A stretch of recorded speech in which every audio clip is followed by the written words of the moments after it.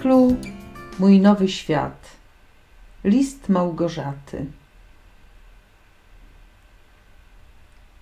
Znów pokolenie nam umiera. W smutku, co niżej jest od zera. To takie lustereczko nasze, gdy już istota się przedziera, co pokazuje, jak złe było polegać na szkiełku felczera Wylewać możesz łez potoki na ziemię w Twoje ręce dane. Gdy się zgodziłeś na bieg rzeki, nic nie da już stawianie tamy. Lecz te problemy zniknąć mogą, gdy pójdziesz swoją złotą drogą. Lecz czy podołasz tej rozłące, hasając już po kwietnej łące? Czy znów ci dźwięczeć coś przestanie, śpiew ptaków i snów kołysanie. Gdybyś miał teraz mur zbudować, by za tym murem móc się schować, zaniechaj, gdyż to nie zadziała. Istota zagubiona cała. Prawdę nieś w sercu.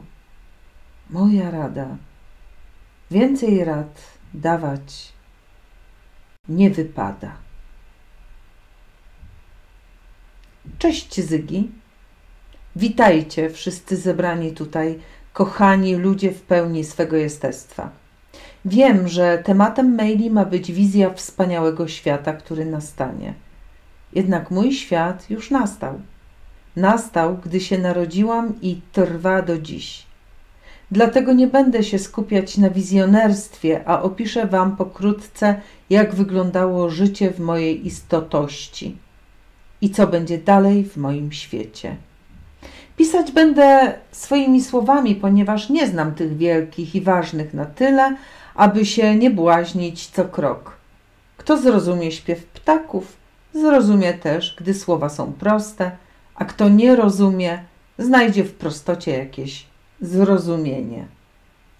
Zwykle zauważamy jakiś przełom, który uznajemy za wielki zwrot w naszym życiu. Za samo przebudzenie nawet jest to tymczasem tylko zapalnik, głębokie poczucie, że już czas.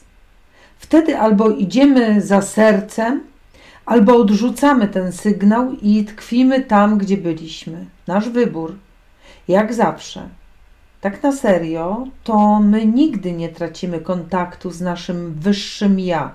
Po prostu bardzo staramy się go nie słyszeć wśród uśpionych ludzi. Różnie się nasze życia układały. Każdy napisał swoją historię, albo jej nie napisał i tylko reagował na życie. Ja również miałam taki skok, w zasadzie kilkaset skoków w ostatnim czasie. Pierwszym naprawdę znaczącym, który zauważyłam i określiłam jako format mózgu, było odwrócenie się w grudniu 2020 roku od systemu zniewolenia, który jest namacalny. Poznałam prawo naturalne, a gdy je poznałam, coś zrozumiałam. Od tego momentu nie mogłam ani sekundy dłużej dokładać się do zbrodni ludobójstwa dokładać swoją uwagą, pieniędzmi, bezczynnością. I coś wtedy klikło. Bo to tak klika przy szczerym postanowieniu zmiany, gdy dajesz znać, że już czas, zgrywając się tym samym z wszechświatem, który mówił ci to od dawna. Już czas na kolejny krok, na skok, na skok wiary, jako rzecze Prometej wyzwolony. Cztery miesiące później ruszyła kreacja, ale jak ruszyła? Zero kasy w kieszeni, zero kredytów, bo nigdy ich nie brałam, zero szans na realizację, a jednak chcę dom, dom na wsi. Dziś mam już hektarową działkę, drewno i materiały do zbudowania domu oraz tłum ludzi chętnych do pomocy. Stało się ale stało się już dawno.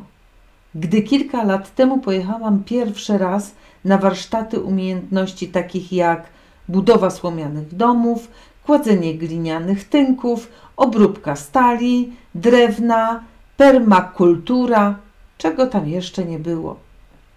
Nie wiedziałam, po co mi ta wiedza, ale była wspaniała i pięknie wchodziła do głowy, do całego ciała, do serca. Uprawianie ziemi daje takie samo, same uderzenia endorfin jak najlepszy seks. Widzieliście, że tak działają bakterie w niej żyjące? Czerpałam więc pełnymi garściami.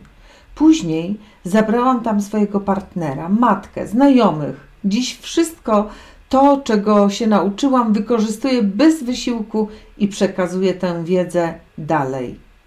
Nie pracuję. Nie pracuję, bo nie muszę. Nigdy nie musiałam, kiedyś próbowałam. Świetne stołki czekały na mnie wszędzie. Prezydent miasta chciał, abym po studiach była jego asystentką, choć zaczęliśmy od sporu. Rektor uczelni liczył na to, że zostanę u nich. Nauczycielka księgowości chciała, abym pracowała w jej biurze. W ostateczności nie skorzystałam z żadnej z ofert. Trochę błąkania się, nieco ogarniania dorosłości i wyszło mi z tego, że nie będę brać udziału w wyścigu szczurów. Tak właśnie odbierałam każdą pracę, nawet gdy byłam kierownikiem księgarni. Czułam, że to jakiś chory wyścig o papierki, nie dla mnie. Założyłam swój maleńki biznes, bo czego bym się nie dotknęła, zawsze po prostu się mnożyło. Tak jak kwiatki, które przynosiłam z lasu na swój trawnik, mając kilka lat, jak i zwierzęta i rośliny, którymi zajęłam się w swej podróży biznesowej. Robiłam interesy na prostych roślinach terrorystycznych, mchach, pnączach itd. Tak na rybkach, żabkach czy jaszczurkach.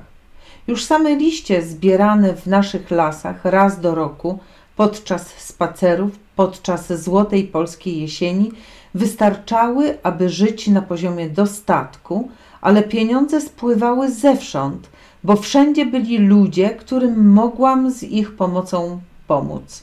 Nie pomagam, nie licząc, e, co zyskam czy stracę.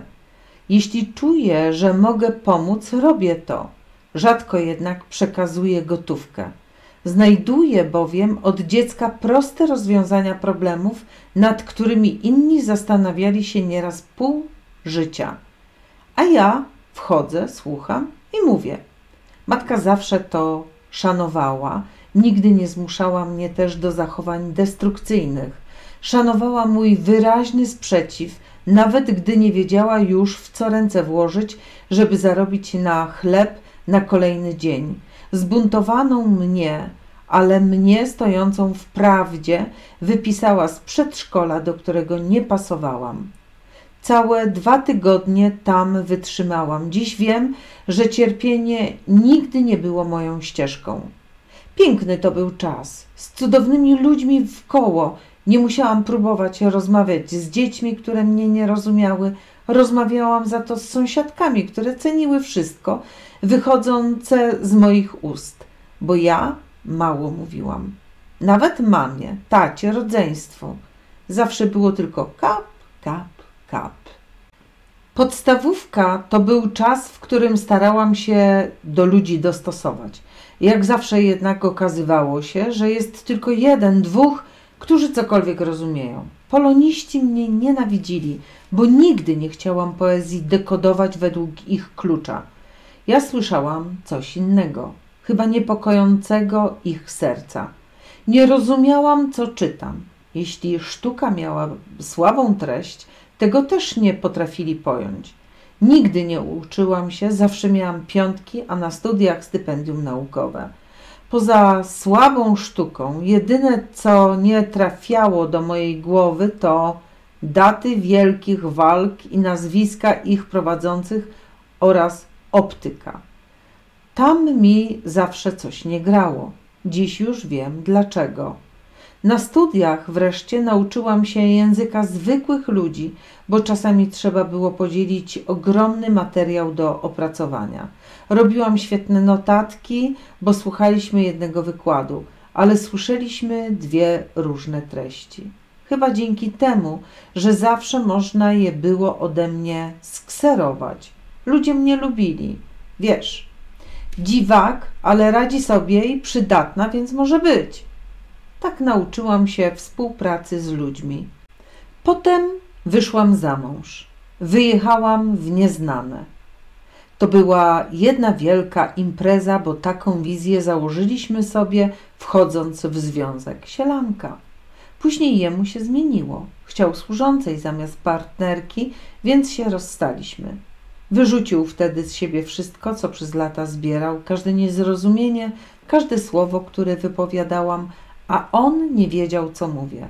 Zarzucił mi związki z Illuminati, bo on szukał, sprawdzał i mu się coś kleiło z tą organizacją, a ja byłam po prostu sobą, taką jak zawsze. Poszłam dalej. Znalazłam kolejnych ludzi potrzebujących mojej pomocy. Wspaniali to byli nauczyciele, choć czasami srodzy. Korzystając z okazji, dziękuję Wam za każdą wylaną kroplę potu i każdą przelaną łzę, za wszelkie problemy, które przez Was miałam i przepraszam za te, które mieliście Wy przeze mnie. Dziś świat po prostu śpiewa. Każdy napotkany człowiek, zwierzę, kwiat, dobre filmy czy piosenki trafiają w samo sedno. Rzucone od niechcenia słowo często zmienia życie ludzi wokół. Wdzięczni są, choć nie robię nic poza byciem sobą, nie wysilam się, bo nie lubię.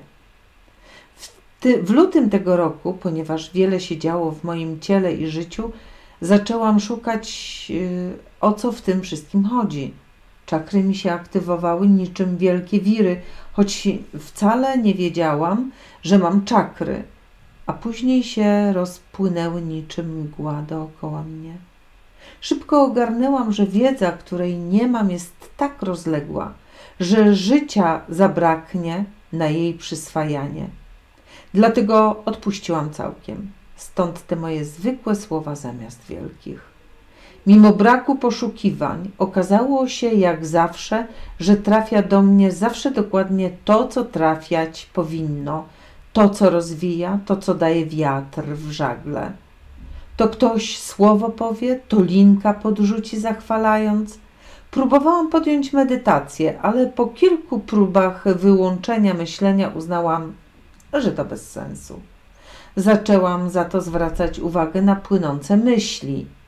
Już w kwietniu złapałam się na tym, że od ponad dwóch tygodni żadnej myśli nie złapałam. Stan spokoju 24 na 7. Czyste czucie i bycie. Wtedy wszystko samo się zaczęło układać. Jeszcze lepiej. Albo ja to lepiej dostrzegam. Codziennie transformuję ołów w złoto, tak jak robiłam jako dziecko. Jednym uchem wpada, drugim wypada, a w międzyczasie rozwiązanie wychodzi z ust. Kto słucha i czyni, co słyszy, sam dokonuje skoków kwantowych. Tak, kwanty to ja kocham od dziecka. Mało tego było 30 lat temu, ale gdy było, to się zaczytywałam. Teraz nadrabiam. Ziemia ma piękne mechanizmy przywracania wszystkiego do stanu pierwotnego. Drga, wibruje i dźwięczy. Nawet to zbadano i sprawdzono doświadczalnie. Oczywiście wszystko zostało zamknięte w szufladzie z pieczęcią patent. Zdobyta w tym roku wiedza i rozwój, który dzięki niej nastąpił, dał mi zrozumienie całego życia, co, po co i kiedy się działo. Dlatego mogę ten skrót wspaniałego świata dziś zamieścić w mailu.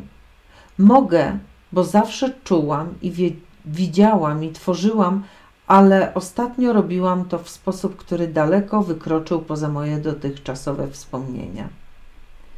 Gdy świat ćwierka mówi do ciebie tylko tobie znanym językiem, każdy znak, który jednemu przywodzi na myśl szaleństwo, tobie przynieść może wyzwolenie, oczyszczenie tak głębokie, że wszystko wywróci się o 180 stopni. Wystarczy za znakiem podążyć. Złota ścieżka, wielkie słowo, składa się ze złotych nitek, które splatamy ze sobą każdego dnia. Te nici nie prowadzą zawsze wprost do kłębka. Mogą się rozwidlać po prostu na jednej drodze. Znajdziemy 100, a na drugiej 1000 metrów nici. Znaki, którędy podążyć najlepiej, są obecne zawsze wokół nas. Zawsze też mamy wybór. Nawet jeśli zechcemy zawrócić, to możemy to zrobić w każdej chwili, ale kto by chciał zawracać z drogi wyłożonej pięknem i radością? Pewnego wieczoru wpadłam w głęboki trans, który zaprowadził mnie do krainy spełnienia. Nie potrafię czucia opisać zwykłymi słowami, wielkich mi brak. Dlatego będzie wierszem, który zawsze ma co najmniej kilka warstw. Zresztą wiersze ostatnio się ze mnie wysypują. W pałacu światła. Zasiadłam w ławie prostej, wśród przyjaciół. Widząc sercem, spojrzeliśmy wtem po sobie i zapragnęliśmy więcej. Wir przed nami się otworzył, góry, rzeki i doliny. Jeden z nas tam iskrę włożył, tworząc piękne nam krainy. Sięgnęłam ja do środka. Myślę, będzie tu jak w raju. Wielkie drzewa posadziłam, przeszłam wtedy po tym gaju. Czy szłam rok, czy pięć, czy tysiąc, nie wiem, bo czasu nie było. Lecz jednego jestem pewna, otaczała mnie tam miłość. Śmiech się niósł po naszym niebie, ambrozją się raczyliśmy, spojrzenia się skrzyżowały, lecz niczego nie piliśmy. Dech był każdy tchnieniem Boga. Zwykły uśmiech niósł nadzieję. Jam jest Tobą, a Tyś mną jest. Jest nas wielu w jednym ciele. Zapraszam Cię więc do kręgu. Bracie, siostro, przyjacielu, poczuj dziś tę radość w sercu, moc płynącą w nas, eteru. Strach już odrzuć, niepotrzebny. Zdejmij z siebie jarzmo wszelkie. Odrzuć wszystkie złe maniery. Zobacz, jak tu teraz pięknie. Jak pięknie świadczysz istnienie każdym słowem i skinieniem. Oddech Twój, iskra żyjąca, bez początku i bez końca. Małgorzata.